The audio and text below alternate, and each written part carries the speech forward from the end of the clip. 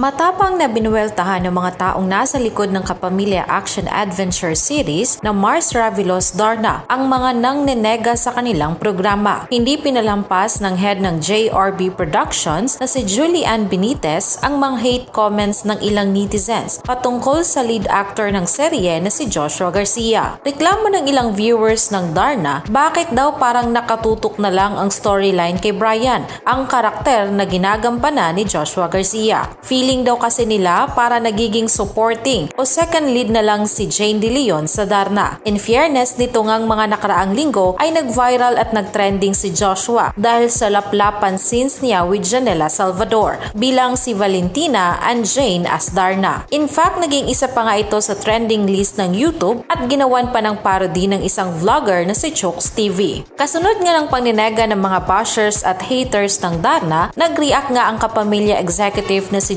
Julian Benitez at sinagot ang bastos na komento ng isang basher. Anya, napaka-importante raw ng role ni Joshua sa kwento ng Darna. Is this kind of language permitted in Twitter? I'm sorry, but Joshua's character is very integral in our story. Been receiving so many good feedbacks about how his character. If you have anything to say, please say in respectful manner. God bless you, my dear. Anya pa. Sagot naman niya sa hater na nagsabing flop sina o flop ang kanilang serye. If Darna is a flop, why are you watching? Anyway, washers are welcome. Dagdag tweets and views. Please magtawag ka pa.